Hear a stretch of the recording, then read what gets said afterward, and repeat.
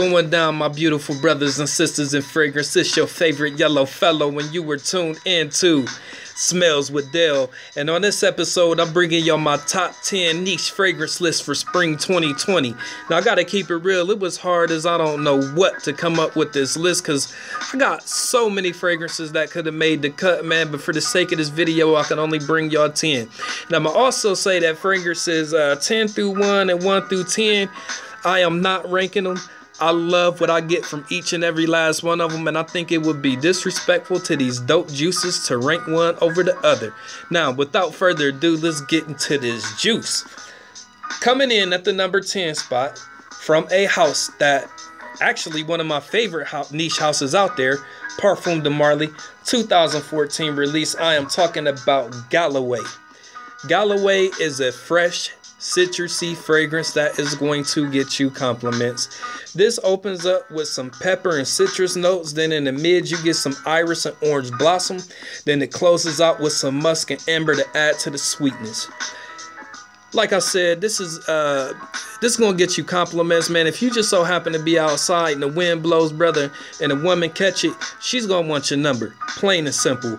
Um, very, very easy to wear fragrance, man. If you got a job interview or something you gotta go to um, in the warmer months, this is definitely one for you. Um, if you are a person that likes to layer your undergarments or wear something to go to bed with, this is the fragrance for you. Um, this is going to last you about a good six, seven hours. Um, I get about two hours of projection on my skin. Um, this is not a fragrance that I think anyone is going to find off-putting. Like I said, very crisp, fresh, citrusy, easy to wear fragrance, man, for the warmer months. If you have not gotten your nose on this, you need to you need to do so. Quick, fast, and in a hurry. Number 10 spot, Parfum de Marly Galloway. Coming in at the number nine spot from a house that I love it. I, am gonna just keep it all the way real. I'm a fanboy of it big time. Um, this house probably got over like 50 something fragrances, and I own 50% of them. What I'm talking about is the House of Mancera 2011 release, Wild Fruits. Wild Fruits is a dope fragrance. I'm gonna tell you right now, if I could compare this to anything, I would compare this to Creed's Silver Mountain Water, except this does not have the inky note that Silver Mountain Water has, and this has way more fruity notes than Silver Mountain Water. So I would call this a fruitier version of Silver Mountain Water. Um, in fact, if you are someone who is in the market and you're looking to purchase Silver Mountain Water and you don't want to pay that price, this is a damn good alternative for you, maybe even better. This one opens up with a blast of citrus fruits that I love. Then in the mid, you get some violet, some uh, peach, some apple, and some black currant. Then in the base, you get some cedar wood and white musk. Very, very, very dope fragrance, man. Gonna get you some compliments. Both men and women can rock this easily. Perfect for the spring and summer months, man. I get about eight hours when I rock this, another two hours bouncing off my skin. If you have not gotten your nose on this, you need to do so quick, fast, and in a hurry. Number nine spot, Mancera Wild Fruits. Moving along to the number eight spot, is a fragrance that I think does not get the love that it deserves. But it's cool because I'm about to love it up right now. From the House of Initio 2019 release, I am talking about Atomic Rose. Now, I know a lot of y'all probably was expecting um Rehab, but I love Rehab, no question about it. But I'm gonna be real, I'm tired of hearing about Rehab it's about time this one got the love that it deserves. If you're a person who loves rose or floral or just a floral fresh scent for that matter, this is the fragrance for you, man. This got everything you want. This opens up with some Italian bergamot, some pink pepper. Then in the mid, you get some Bulgarian rose, some Turkish rose, a little bit of Egyptian uh, jasmine. Then in the base, you get some uh, Madagascar vanilla and a little bit of ambrox. Very, very, very fresh, rosy, floral fragrance. Can be worn easily by both men and women. I like this fragrance a lot, man. It's one that's going to get you some compliments. I will say, you want to be easy on the trigger with this one because if you spray too much, you're going to stink. Period, point blank. But you only need about three, four sprays with this one. Three, four sprays, man, you are gold. Trust me. Go and get you compliments. This is actually beast mode. This lasts about nine hours on my skin. Bounce off of it for another two and a half, three hours. Very, very, very easy to wear in the warmer months, in my opinion. And it's about time that this one gets the love that it deserves. Again, Atomic Rose. Moving along to the number seven spot from another house that I truly, truly, truly enjoy a lot. What I'm talking about is from the House of Imaginary Authors, a 2017 release. I am talking about St. Julep. St. Julep is a dope fragrance, man. It is sweet and seductive and fresh all in one. This one opens up with some sweet mint, some tangerine. Then you get a little bit of southern magnolia, a little bit of bourbon. Then in the base, you get some sugar cube and some crushed ice. Now, that crushed ice note is real interesting. And the reason why I say that is because I don't know what crushed ice would smell like, but this would be the closest interpretation of that. And I say that because this fragrance just gives it a special crisp like smell that I have not gotten out of any fragrance ever. And I have a huge collection. And I've never smelled anything like this one. This one this one is both sweet and crisp and refreshing all in the same. It's like a burst like it's really icy. If I could it's icy, sweet and icy. There there you go. Sweet and icy. Perfect for the warmer months, especially springtime, man. Um, again, can be worn by both men and women easily. I get about seven hours out of this. Lasts on my skin, another one and a half, two. Dope, dope, dope fragrance, man. Um, this is actually a niche fragrance that is priced right. You can pick this one up about 95 bucks because you know a lot of niche fragrances are expensive as I don't know what, but this is actually one that's priced right. And I do think that if you do not have this in your collection, you definitely need to do so. Um, once again, Imaginary Authors, St. Julep. Moving along to the uh, number six spot we are at Shay & Blue. This is a, a, fragrance house that I just got hit to not too long ago, and I'm glad that I did because they got some fire. But I'm talking about 2016 release Black Tulip. Now, I was gonna go with uh, Blood Oranges for this one, but I'm gonna say that for a rainy day. And that's not to say that this is a consolation to that one because this is fire. Period, point blank. This is a seductive fragrance. Once again, can be worn by men and women. Gonna get you a lot of, lot of, lot of compliments. Actually, in my opinion, throughout this whole list, this is one of the more versatile fragrances because although I got this on my spring list, I do think this could be worn at any time of the year, honestly. This one opens up with a blast of uh, snowdrop flower and some cyclamen. Then in the mid, you get some black tulip and plum. Then in the base, you get some white chocolate and soft woods. In my opinion, the white chocolate and the plum carries this baby all the way through. This fragrance is both sweet and fresh. And it's just dope, man. Like, I got it. Oh my gosh. Get your nose on this, man. I'm telling you right now, you've not smelled anything like this one, man. Straight up. Um, this one, I get about seven, seven and a half, eight hours, give or take. Bounce off my skin about another two. Very, very, very seductive fragrance, man. If you rocking this and you are in a close encounter, it's done. He or she, if you're a woman wearing this, he's done if you are a man wearing this, she's done. Period, point blank. You are getting some that night. Penny dropper, in my opinion. Moving along. We are halfway through the list, y'all.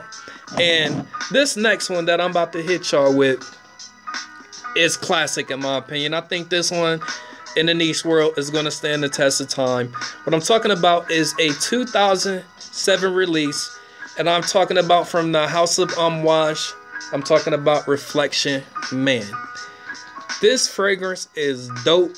Is going to get you compliments, period, point blank. This one opens up with some rosemary and red pepper, some uh, berries, a little bit of bitter orange leaves. Then you get in the mid some neroli, some orris, some jasmine, some ylang, or ylang ylang as I like to call it. Then in the base you get some vetiver and patchouli. When I first smelled this, I was I was telling my homeboy, I was like, man, I found a I got a dope fragrance, man. It smelled like Jean Paul Gaultier Le Male and Burberry Touch had a baby. And the reason why I say that is because I get some of the sweetness that the sweet DNA that the Jean Paul Le Male gives you, but then I get the powder, the powdery notes that the Burberry Touch gives you. And I think mixed together, it just makes this one a very, very dope and seductive fragrance. Um, just like the fragrance before the uh, the black tulip this one is very versatile. I know i picked it for the spring list but you can rock this any time of the year in my opinion. Very easy to wear fragrance going to get you compliments. This one lasts about a good eight and a half nine hours. I get three hours of projection. Like i said man very very dope fragrance man. Easy to wear. If you got a job interview, if you want to go on a date, whatever it is, man, rock this. Pick this up anytime, any place, anywhere. You are good. Number five spot, Amouage Reflection Man. Moving along to the number four spot, I got another dope fragrance, and it is from the house of Verana Perfumes, a 2020 release. I am talking about Coconut Nanas. I don't know why I said that like that, but it just sounded sweet coming off my tongue. Coconut Nanas, man. But not for real, Coconut Nanas is dope. If I had to compare this to something, I would say that this smells like a banana Laffy Taffy. Period, point blank. Go to the store, go get one of them long banana Laffy Taffies or even a little short one that's what you got here in the fragrance. This fragrance is dope. Gonna get you compliments. I do think that this can be worn by both men and women. This opens up with some coconut and pineapple. Then in the uh, mid, you get some peach and tiare. Then in the base, you get some musk and saffron. This fragrance is dope, man. And this is beast mode. This actually might be one of the more longer lasting fragrances in this list due to the simple fact that Verana they their oil content is like 65 70% so do not spray this on your clothes because if you do whatever it is you spray it on is ruined. Like i sprayed this on my hand. My hand was shiny for like two and a half hours. I am not joking. And it lasts. I mean this is a long lasting fragrance. I'm talking about 10 to 12 hours long um, bounce off your skin for like three hours. You do not need a lot of this. I'm telling you, like you do not need a lot. Seriously, about three sprays of this, you good. This is some potent juice, and it's gonna get you some compliments out the you know what. I'm telling you. I'm just moving along. Just if you ain't got your nose on this, you need to. Coconut Nanas from the House of Rurana Perfumes. Moving along to the number three spot is a fragrance that I'm gonna keep it all the way real. I ain't like it at first. And I think the reason is is because on the day that I smelled it, I smelled too many things. But what I'm talking about is the 2014 release from the House of Creed. And I am talking about Vetiver Geranium. This fragrance is dope. Like, this fragrance is dope.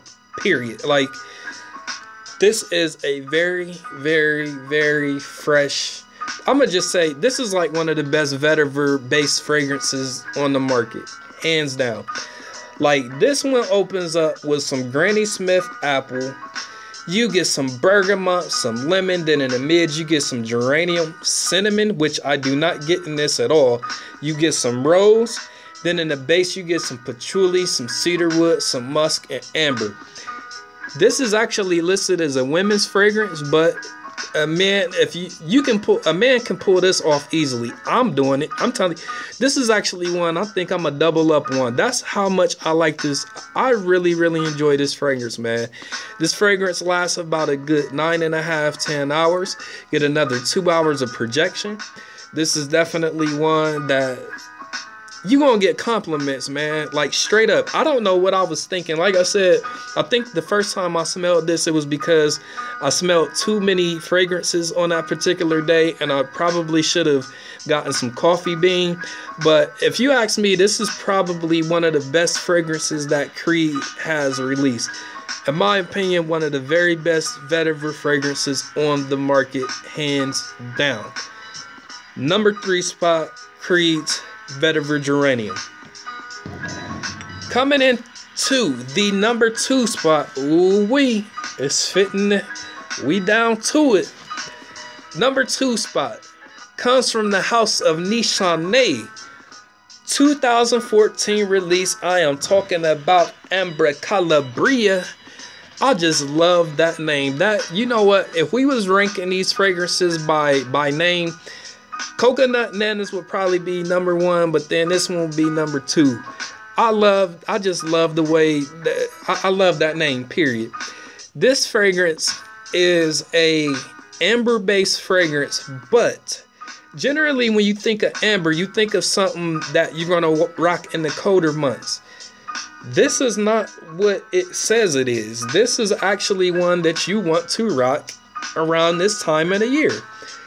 This one opens up, you get some bergamot, some uh, galbanum, and then in the mids you get some coriander, some jasmine. Then in the base you get some sweet amber, some musk, and vanilla. This is like a amber and vanilla, like musky, fresh, soft fragrance. And generally, them are fragrances that hit you in the mouth and something that you would rock when it's cooler. This is the total opposite, and I am really surprised at that. This is one that both men and women can wear. Going to get you a lot of compliments. This is another one that I say if you're in a close encounter, the opposite sex is done. They are going to give you whatever it is you want. I'm telling you. This is beast mode. This is a, a extract, I believe. Yeah, I do believe this is a parfum extract. If if not, my bad. But no, this is an extract, just like I thought. This is a amber vanilla musky bomb, but subtle, all in the same. I know that's crazy. Lasts you about 10 hours, bounce off your skin for three. Easy to wear. Um, can also be worn at any time of the year, in my opinion. But perfect for the warmer months. Dope fragrance, man. Get your nose on this from the house of Nishane Amber Calabria. Now, number one. And I could have picked, like I said, man, I could have picked a lot of fragrances, man. But this one, I, I do enjoy this one. This was one of my favorites from this company. What I'm talking about is the House of Bond number 9, 2017 release, number one spot. Dubai Gold. Let's argue. Let's argue. If you don't, if you don't think that this should be number one on some list, let's argue. I, I dare you. This fragrance is dope, man. Like straight up, it's actually my second uh, favorite fragrance from the House of Bond. My favorite would be Lafayette Street because that's a penny dropper. We'll talk about that on another day. But this is dope, man. This is fresh, is powdery, and I love uh, powdery uh, smelling scents, man. Like this opens up with some brandy, some saffron, some bitter orange. Then in the mid, you get some ginger, some cedar wood, some guaiac wood. Then it closes out in the base with some amber, some sandalwood, some musk, and patchouli very, very, very nice fragrance, man. You get like nine hours out of this, bounce off your skin for another two.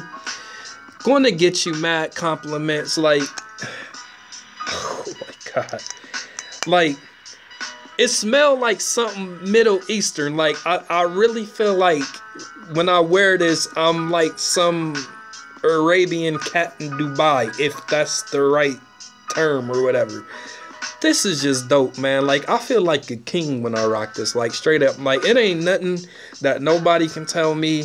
Like this, this smells so damn good. If you say that it stink, you're lying. Like straight up one of the best releases from the House of Bond, in my personal opinion. I do not think they have too many in their line that is better than this.